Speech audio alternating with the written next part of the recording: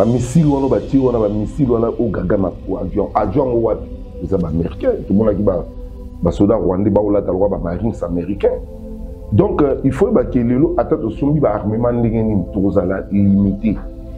pendant ke tosomba baarme epai ya bato wana bayebi ke soki basombi eloko oyo di tokopesa m23 oyo tokopesa mpe rwanda oyo mpo aneutralize yango mm. donc biso nde toza nayebisaka président de la république abanga basanction ya monde te President azwa courage ake sala coopération militaire na Russie, na Chine, na Corée. Obi na mboka na biso toya lokola mpe biso moko mpe toya lokola moto tobebisaka na mboka. Tomonaka ministre ya défense à l'époque akendaka Russie, ministre ya défense ya Russie aye awa azo tosololi. Pendant ce temps-là, après deux mois toyei komona sous ministre ya défense ya Ukraine aye. bon atako bairisa bangi yako aide bino elaka moko ozwa deja mpe na baennemi na ye donc omonaka nyonso wana baproblème baproblème oa mpe nalobi boye le président fo asala deux choix ou bien guerre ou bien paix soki paix bakende na négociation tokende na négociation yango ezala ouverte na bachaine toyebi barwandais wana balingi nini M23 alingi nini po jusqu'à présent Sylvain toyebaka bango M23 alingaka nini mhm. biso na bino tolobaka lobaka kaka ata porte parole na biso muyaya mokolo mosusu likama na tv zwa courage batala bakor oyo basinyaka kala yango oyo bakor wana eza boye boye boye boye boye po au juste M23 balobaka ke rdc gouvernement eyebi meme ta gagem alobi ke bino moko boyebi ntina ya guerre na bino mais siko toyebaka yango yango nayebaka te mhm. toyebaka yango yaka ya nini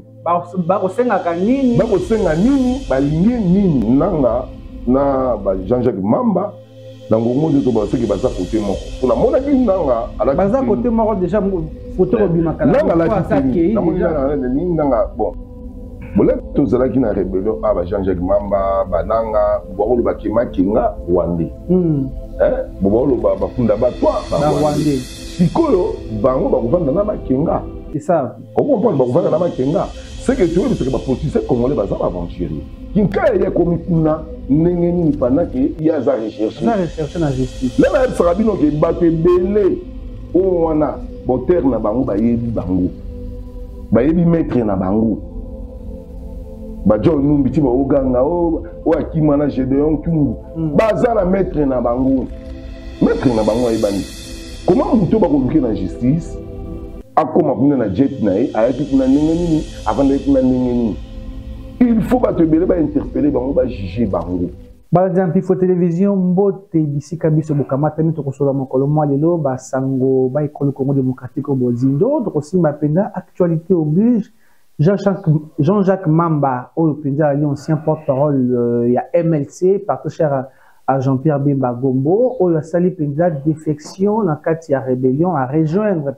rébellion ya Corneille Nanga na AFC, likambo wana penza ekamwisi bato. Comment est-ce que lobi lobi tozalaki na awa boye na Jean-Jacques Mamba? Quand est-ce qu'abandaki masolo to akotaki en contact na na rébellion ya Nanga mpo atakende ko rejoindre bango? Est-ce que Jean-Jacques Mamba akofanda na makenga esika moko akofanda na wili ngoma esika moko na bisimwa trahison ya bacongolais makambo yango tokosimba yango mokolo mwa lelo tokosimba mpe lisusu mpenza en recherche depuis plusieurs années euh, kinkaya bin karubi ancien dignitaire ya kabila oyo akei koapparaître na namibie na kabila elongo na matanga ya président euh, namibien likambo yango mpona ekamwisi bato comment est ce que bato oyo mboka ekoluka baya kotambwa na kabila libanda sous prétexte azali sénateur à vie tokosimba yango complot nini oyo eyali kobongisama mpo na ekolo congo démocratique qu'est-ce qui avenir ya mboka eyali malamu rébellion nini ekobongisama parce que bana ya mboka na kati ya capital bakota na kati ya rébellion bakokende na zamba nini oyo eyali mpo na mboka na biso tokosoki soki na réaction ya mokonzi ya mboka alobaki à la moindre escarmouche akoréagir kasi na briefing mokonzi ya mboka alobi alingi mpe alingi kimia wana mpena réponse apesaki na ndeko marius moyunga opposition na mboka bango banso bakokende na rébellion kobanga question mark honorable fangi diongo aza aza kaka na poto aza na kinshasa abatami wapi akokende epai ya nanga to te mwana mboka maître besi moko ya bacadre ya mlp tokoswani mokolo mwa lelo mbote mwana mboka maître lesi mbote ndeko sylvain mbote ebele na baabone ya mpifo télévision vraiment napesi bandeko na nga bacongolais partout na monde bozali kolanda biso napesi bino mbote ebele napesi bandeko na nga moko mbote napesi mpe baninga na nga mbote vraiment napesi vraiment yo moko lisusu mbote ebele merci beaucoup mwana mboka maître besi eh, ya moto kota na vif ya sujet ya mokolo mwa lelo likambo ekamwisi bakongomani nyonso mpenza aéroport mobimba etongama en plein forêt na kati ya, ya province ya ituri esika mpenza mindele na paul kagame bayibaka baminerie batransportaka yango ekendaka sans que rdc eyebaka aéroport moko ezaka bauti kodevelope yango élection na yaliboniboni bon le problème eyali ke il faut yeba ke mboka na biso eza infiltré makasi eh, tosalaka émission moko na yo nayebisaka yo déjà ke ner président félix azwi pouvoir bakodécouvrir ke barwandais basalela biso pont mhm. donc pont oyo ebimisaka baminerai na biso ekatisaka na mwa rivière mo basala pont mamkwametalique donc vraiment eza mwa mawa mingi eza infiltration vraiment soki omona makambo ya bavion wana donc bokamwa na bino te baaéroport wana mpo boteka baguerre oyo ezalaka nango bamindele mpo na kowelela minerai ya congo yoka ti documentaire moko natalaki bo bakozwa baminerai ya congo mondele moko akumba avion na ye akomema ya minerai akokende nango akendaka nango wapi donc eya mamawa mingi vraiment mboka na biso toza infiltre makasi mboka na biso bato bakoboma biso na mboka oyo eza baoccidentaux donc eloko ya liboso président de la république ayeba yango ke baoccidentaux ntango ye atangaka gagame il faut azwa mpe courage ya kotanga baaméricain kotanga bafrançais kotanga bapolonais kotanga baanglais mhm. parce que bango nde bazali bamédiateur ya guerre oyo donc gagame ndenge omonaki wana azali mwana soso mais soso ezali baaméricain mhm. donc gagame aza na se ya makolo ya baaméricain na se ya makolo ya bamindele omoni makambo nde tokoloba boke pendant ce temps que biso toza na baproblème bapolonais okamwaki balobi ke bayebi bango na logistique militaire mm -hmm. yango na bino mboka na biso eza eza infiltré na makambo ebele omonaki ambassadeur ya italie ya yaki mpo na ambassade maki kose retrouve kuna na front na front eza vraiment mawa mingi soki otali lelo bamercenaire oyo e ba réfugié ya mindele oyo bakendaki rwanda londres mpo lelo bakomi kobundela gagame nasi bakangaki kelke bamindele wana donc baobundela gagame donc il faut ebe ya plan moko ya bacongolais plan baaméricain plan bamindele basali mpo badétruire congo na ndeko na biso ya ngambo ya brazzaville ndeko na biso sasunge sutukasaka aza ndeko wana ya biso oke sasua aza ndeko na biso te aza mpe monguna na kati ya makambo wana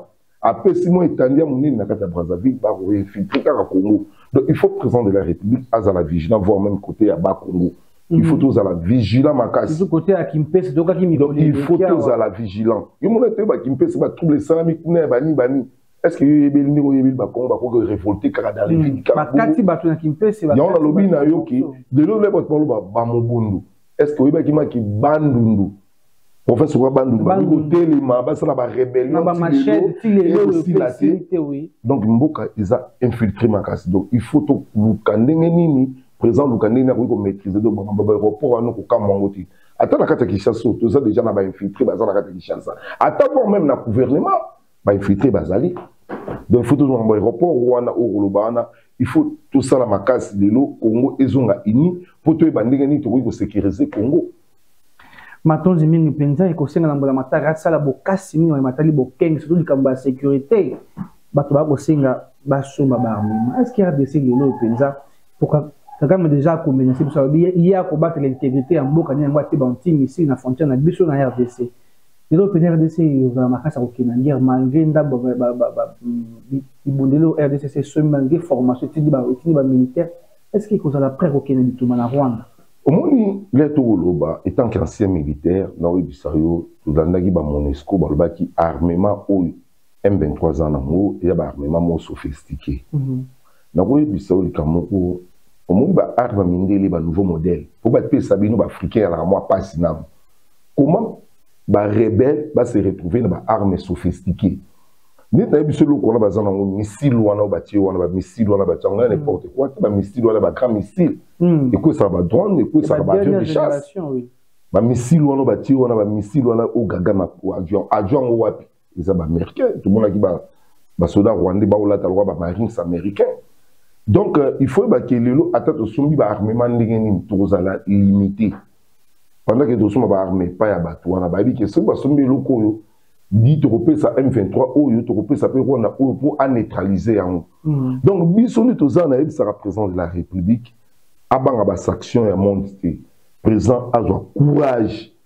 akesala coopération militaire na Russie na Chine na Corée obi na mboka na biso toya lokola mpe biso moko mpe toya lokola moto tobebisaka na mboka tomonaka ministre ya défense ya l'époque akendaka Russie ministre ya défense ya Russie aye awa azo tosololi pendant ce temps là après deux mois toyei komona su ministre ya défense ya Ukraine aye bon atako bairisa bango yako ede bino elakakoswa deja mpe na baennemi na ye donc omonaka nonsana oya baproblème baproblème makambo ya guerre oyo ndeko na ngana koyebisa yo eya makambo ya guerre moko il faut comprendre yango ya guerre ya minerie eza omoni este wana bawela este mokolo moko te bomona baye kosala rebelio ya makasi lokola na bandunda mpo kuna minerie eza nango te mhm. na bakongo minerie eza nango te omona donc bawelelaka kaka secteur kaka ituri ba ruchuru bakote ba masisi mpo bayebi ke toza na ba sorte ba minerai ya chaque jour ekobima modèle na modèle donc bayebi ke omoni nga alobaka na bato ah, ndeko na stephene nayebisaka bato ke na bomoko nde tokotonga mboka oyo pourkui nalobaka bongo lelo soki bomoni bafrançais bakozwa courage tomona kaka françois hollande azwa courage abi tokatela bango eteni topesa bango nyonso oyo bakolukaka baguerre oyo esalama mpona nini bakabola kaka congo un jour yo mete kagame alobaki mokomisa vandi alamuki alobi non congo parti wana eraye selo basetre na ye hmm. donki biso tosala makasi ngai mpo na nga bapesa babase arienne logistique wana tout bapesa yango corée chine bapesi russie bapesi est wana mobimba mhm. basala babase na bango ya makasi bo totala sikoyo ndenge nini bakokotela mpo le tokangaki omoni omona webiso le tokangaki commando rwandais Mm. kaka bamindele wana balobaki non mpo kokende na dialogue eh, bozongisa bango eh. Eh, babi tozongisa bango mpo tokende na pe me nde nakoloba bozi sikoyo guerre oyo tokobunda oyo tokobunda nini na rwanda mpo bato ebele bakomona yango lokola ke tokobunda na ba m23 m23 baye eloko te ngai nayebi valeur ya, ba, ba, ya, ya armement soki olingi beta na google otala baprix ya bamissile otala baprix ya bascoy ya babiloko wana yaka chere nani akoki kolinga gouverne rebellion wana abimisa mbongo ne boye non eza rwanda mais baaméricain nde bakokengela bakocontrole rwanda mhm. bango nde bakopesa rwanda babiloko wana bayebi ke richesse oyo eza kuna chaque jour baza babénéficiaire donc ndenge eza na so babimisi par exemple 50 tonnes rwanda nde mosusu bapesi 10 40 tonnes eke kota baaméricain po koma explike guerre banda ebandi tomoni ka guerre ya ukraine awa mais tomoni aide oyo eye na ukraine tomoni guerre ya israel mais nombre ya bakongolo bakufaka elobelaka bango eloko te esive elobelaka bango na mindele wana eloko te mokolo moko te mpo omona batya yango mpo ebaka mindele wana bazaka bato mabe eh. basala tv 5 afrique Hmm, basali eh, soki france 24 afrique mais france 24 na bango moko epesaka information heure nyonso epesaka na juste epesaka na 30 mais heure tv soki journal afrique bapesaka kaka na 21 heure mbala moko baetufe biso to évolue te tofungwama te mhm. donc yango moni ke lelo biso moko baafricain il faut tozwa conscience ya kobundela mboka omoni idée président oyo ya burkina faso aza na yango idee ya président ya, ya, ya, ya mali aza nango mm -hmm. babindeli bango mpe batali sedao babi te fo tolongola eloko oyo sanction oyo ya niger balongoli pourkui bayetalaki babindele nde baza baautere ya makambo le bakozwa conscience mm. biso balobi ke baminde babi boto négocier eac kende kuna mbongo nyonso eac lie basoda balie siko rdc abénéficia na nini eloko te na eloko te alors ekutu edosomba ata bamema yango nalobi armée na biso moso toorganize armée na biso moko ba tozala besoin ya basadek wana te nini te biso moko toa na armée moko forte toa mpe na bamilitaire ebele mm. chaque année tokoforme bamilitaire soki tokosenga baaide wana bakosala nini mais soki bapesi biso mandoki meme temps bato ya artillerie bakoki koyekola artillerie bato ya aviation babisa bapilote donc bakoforme bato omoni sivanga na biso eloko oyo mboka na biso so tozwi conscience guerre oyo eza nango mpe facile mpo tosilisa yango soki kaka tosomba armement okomona moto mosusu ayibi 200 millions de dollars mais sikoyo wana omonaka ya 11 millions de dollars soki okei na google beta baprix wana kokamwa bato bakoyiba mbongo ke bakoki kosomba bamateriel baarmement oyo ekoki kodefendre mabele na biso bolingo eza nango te donc guerre na biso na rwanda président de la république assuraki biso ata de lisasi mhm. amwangi escarmouche donc ndenge ezali wana akotake rwanda sikoyo tolandi président alobi ke non ye alingi ne pe yango nga mpe nalobi boye le président fo asala die choix ou bien guerre ou bien paix oui. soki paix bakende na négociation tokende na négociation yango ezala ouverte oui. na bachaîne toyebi barwandais wana balingi nini M23 alingi nini mpo jusqu'à présent Sylvain toyebaka ma M23 alingaka te mhm. biso na bino tolobaka lobaka kaka ata porte parole na biso muyaya mokolo mosusu likama na tv zwa courage batala bakor oyo basinyaka kala yango oyo bakor wana eza boye boye boye boye boye mpo au juste M23 balobaka ke RDC gouvernement eyebi meme ka diademe alobi ke bino moko boyebi ntina ya guerre na bino mais sikoyo toyebaka yango te ngai nayebaka te mhm. toyebaka yango yaka ya nini bakosengaka nini bakosenga nini balingi nini mpo tokomi sikoyo na deux choix nombre effectif ya bato bakokufa ekomata ekomata oui talaka mama moko akufi na bana bebe esali biso vraiment mpasi mie ke tokende na pe comme tozangi pe tokende na dialogue yango ezala ouverte mais dialogue na biso tokende nango fo tosolola toyebaki balingi nini mpo ozali kozala kwa de dialogue dialogue moko na barwandais mm -hmm. na gagame ye moko gagame na gagame dialogue mosusu ekozala ya bapeuple congolais na bacongolais donc bacongolais na bacongolais oyo bakofanda bareunir likambo ya congo eza lokola kere oyo biso toza nango te mhm. omoni ngai na kere moko ya amour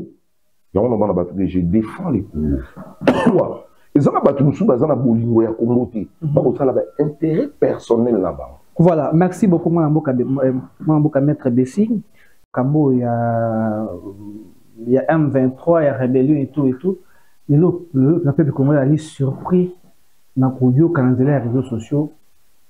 euh, mwana mboka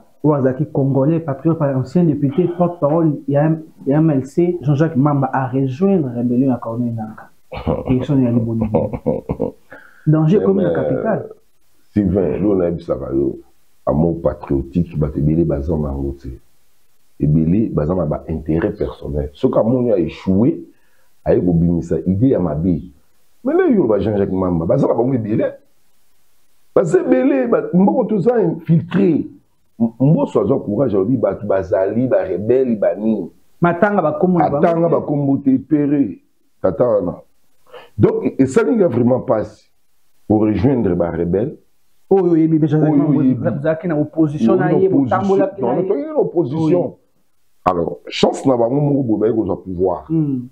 basali alliance bakomai na pouvoir oui. sikoyo jean jacques mamba ake rébellion ah, rébellion sikoyo oke rébellion mposala nini soki bwaka na bolingo ya mboka est ce que okoki rébellion mpo boma bandeko na yo est ce que mboka ekochange te omoni lelo il faut oyeba ke un rebelle atikaka batrace ya mabe mpo na rebellion wana okobuma bato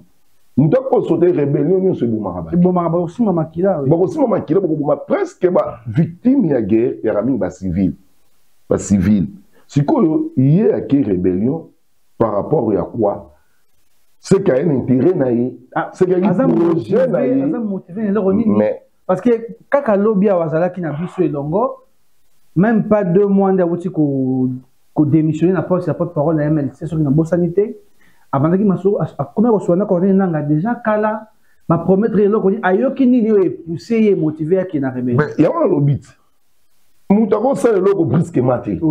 moto akoloba teke naseki eloko mo brusquement eza biloko oyo lemso yaki déjà préparé mm -hmm. depuis kala omoni donc omoni leya bato ebele bakokende na bacompte à rendre mhm. lere ye azwi eloko wana te ake sikoyo na esprit mabe mais lere okende esprit mabe wana okoboma nde bandeko no bacongolais donc euh, vraiment jean jacques mamba yo kokamwa jean jacques mamba nga nakamwaka lisusu te mpona komona bato ebele bakokende na bango bato bakokaba mwa mpono naoyo fang diongo mosusu esika mpo esika aza eyebani tongo ape po fang diongo ake na rébellion te président aza na belgique bato baa na belgique bayebi président aza na belgique ya okota mamba président aza na belgique président aza na belgique nakoloba euh, position na ye nyonso te parce que naza na ye pembeni te ye aza kuna na belgique mais nayebi te nandimi mpe tomoni ke likambo oyo ya koloba moto akoki kokota te hmm. moto akosisa te so moto akweti nde mosusu likambo nini ekosala retour mpa na yo oui. mais ndenge nayebeli ye aya nde nayebeli frank diongo bon mpo na makambo makila ma na ndimi te pourkui nalobi bongo soki otali baparti politike ebele bauta na rébellion mm. bauta na baguerre pendant ce temps que rébellion ezali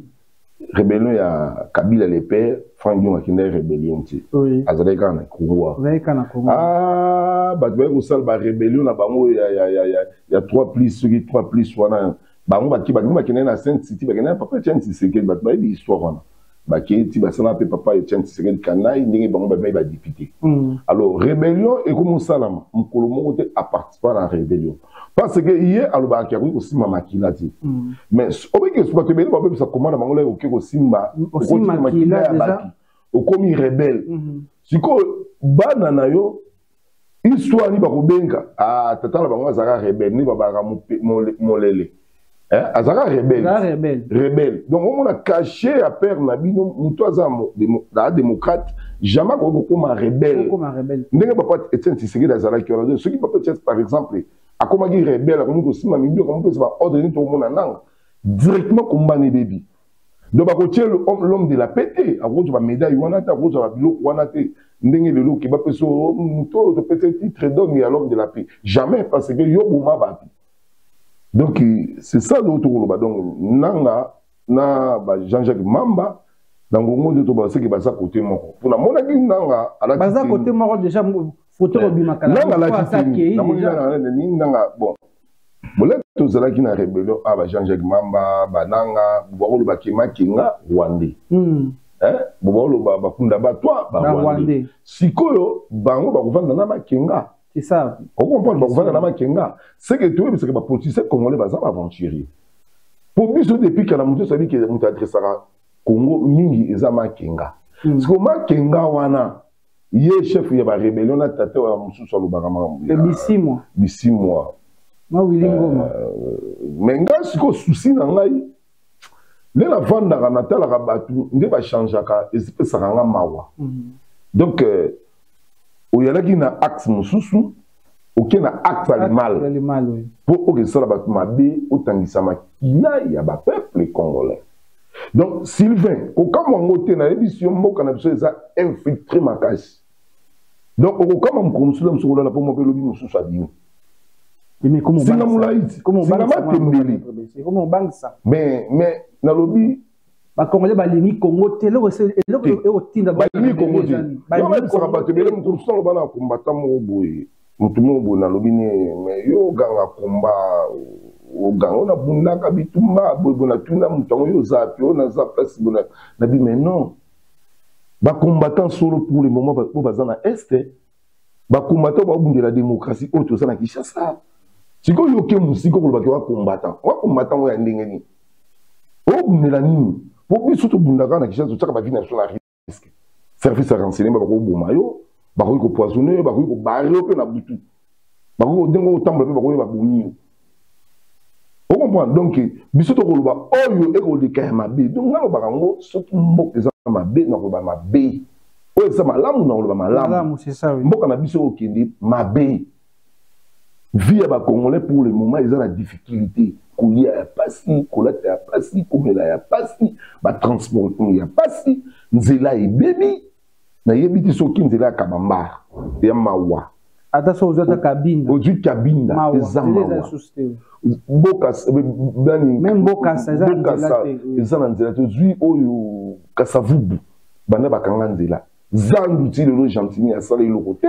mais lelo bamama ebele bakoteka libanda ya zandu pembeni wana donc epidemie kokoya bato bazwi maladi na kati ya congo bato babeli parce que congo suivi ya malamu ezabapolisier bakomaltraite bapeuple donc ezomona ke biso tona souci lelo na biso lelo ke soki totali lelo bana nde baotanga mpasi ezali vie yali ya mpasi donc président de la république oyo ye alobaki hmm. il faut akokisaka yango me ntango mpenza bato bakotia bakoka jambe bato bakotungisa ye bakopesa moto bakokonfie moto ministère asala mosala moto wana kuna akoma na ministère asali oyo ye alingi biloko moko ya ndenge wana e, e, e, ekomi président de la république azali commanda suprême mhm. mais nalandaki président alobi ke justice na biso eza na malade eza na malade ezobela mais kobela mais nani akoki kobongisa justice akoki kotraite justice akoki kotraite siko malade wana ekozala président de la république faut ozala rigueur okangi mutu 20 ans zwa 20 ans mpe ya sola beta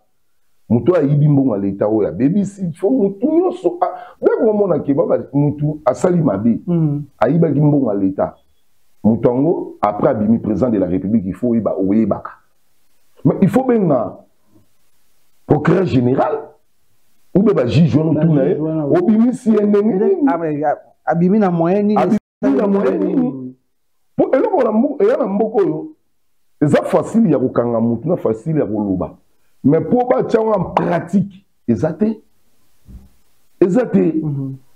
tala décision bazweli bakulu na c'est bien baba nosamba ya siko na ndulu na auditora militaire c'est bien bayeba mpasi ya boloko c'est bien mhm. il faut baaplike yango ntina suka mpo lelo bato bayiba bakose retrouver librement calmement kinka ya bin karubi ancien dignitaire ya kabila recherche par la justice congolaise make koapparaître na namibie na penepene na kabila na matanga ya président namibien eh, biloko ekamwisa ngai d'abord premièrement namoni président de la république eh, na namibie namoni eh, police kanambe mpe na namibie mais bapesaki d'abord premièrement mbote te eloko baétranger bakovanda ancien président na nouveau président bapesani mbote te bakolakisa nano ke biso moko neti bato ya likunia bato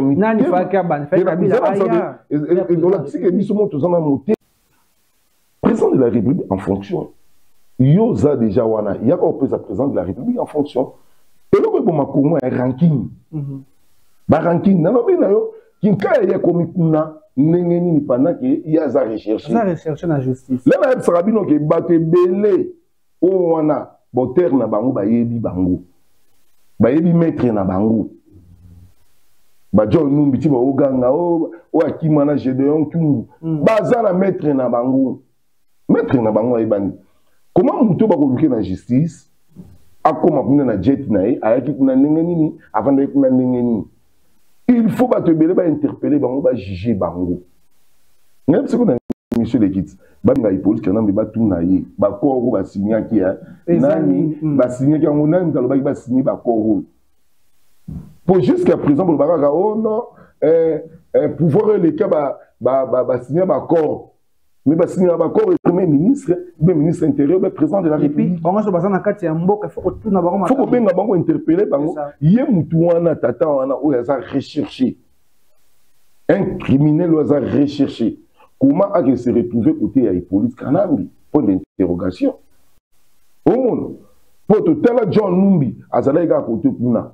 lenga nayebisaka bino ke mboka oyo ndenge kokende ekomi mboka vraiment il faut qu'il na dialogue dialogue national ma bato nyonso baya bavanda bato bafungola mitema oh, baoke epa président oh, pesa mbongo tosambela mpo na mboka tosa baalo bamiyibi baza baaventurier mboka na biso ekomi osengaki tosala jeune prière ata ya 7 jours mpo na mbokoyo mabe eleki tro kimoyibi eleki kimotema mabe eleki moto oyo lelo moto oyo bon sikoyo lebe biso tokolobaki moto abongo aza moto ya suspect oyo aza recherche na justice na biso mm. akomi kota hippolite kanambe okomona bato babio pourquoi yo olongola na ye te seke aza moto ndenge omoni assassin mm -hmm. déjà assassin akoya pa ya motu moko boye azalaka maître ya baassassin seke baza motu moko baza motu moko c'est ça mpo lelo omoni lelo nde tofandaka bato mosusu bamikumisaka bato mosusu eh, yango nayebisa ko sylvain bato ebele vraiment nakamwaka lelo bato mosusu moto asala biso mabe babosana bakoma kosoutenir moto asala biso mabe donc mboka na biso il faut bazwa baprécaution ko moto nyonso akosala coup d'état moto nyonso akozala na bakanisi ya mabe il faut bakondane bapeine moko ya makasi oyo akosala batrahison soki esenga bapandre bapandre ye parce que tokolinga te mboka bobimba mboka na biso ya lokola loi ezalaka na mboka te eza lokola loi ezalaka te bikomona moto asali mabe biso tokoluka ye ye soki ipolite ifo yebake ye akokangela biso mpe motu wana ayeli biso ye jamais ayebi kesakosala yango te akopesa te mpo secret na bango nyonso ekobima basecret na bango ekobima basecret na bango to ekobima yango nayebi biso batutu nayebi biso ata voir meme baélection nde esalamaki toyaki totaki réaction ya hippolyte kanambe apesaki ordre na bato ne baenrole te bakei mpe na maponami te mais na kamwaka na bango balekaka mpe na tv bakokumisa mpe ke bakobeta makambo ya maponami